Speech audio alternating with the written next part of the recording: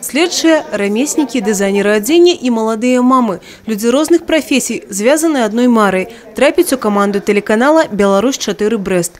Лічба удзельнікаў гэтай пятницы – 30, и кожны упэўнены ў сваёй перамозе. Смотрю вот это вот объявление.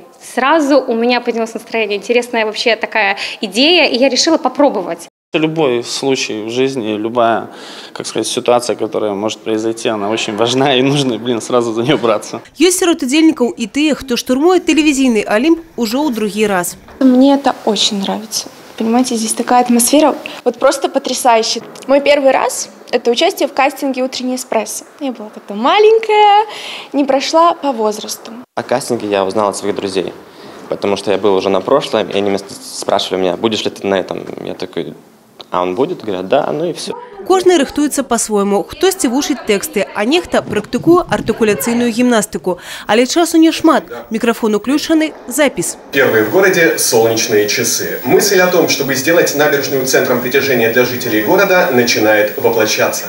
Нет, не было страшно, потому что коллектив э, достаточно э, открытый, добрый. Все уже отпустила, уже хорошо все.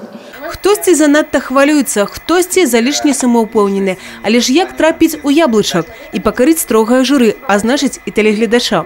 Внешний вид человека – это очень важно, телевидение, безусловно. Это э, манера э, поведения себя в кадре, это тембр голоса, как человек говорит. Э, естественно, волнение в кадре, оно присутствовало у всех, безусловно. Поэтому чем меньше этого волнения, тем больше уверенности в человеке. Поэтому это тоже один из критериев. Запаветнае так. Вы праходзіце ў наступны этап. У другі дзень кастынгу пачулі 17 удзельнікаў. Некаторым з тых, каму з праектам прыйшлося развітацца, прапанавалі паспрабаваць сябе на радио. Было очень интересно, новые люди, новые знакомства, это тоже было очень здорово. Можно попробовать себя в качестве ведущего и, конечно, заинтересовал вот предложение по поводу радио. А вось и 17 счастливчиков. Было интересно, быстро быстро, э, стрессово. Мурашки до сих пор, но это, это того стоит. Очень сильно понравилось, очень интересный опыт. Прошли те люди, которые показали свое желание, которые соответствовали внешним данным. Э, нам понравился их тембр голоса, их подача информации.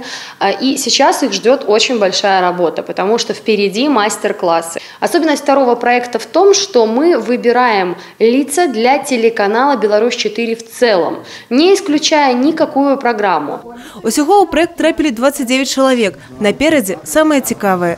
Евгения Мороз, Роман Филюсиш, телерадиокомпания «Брест».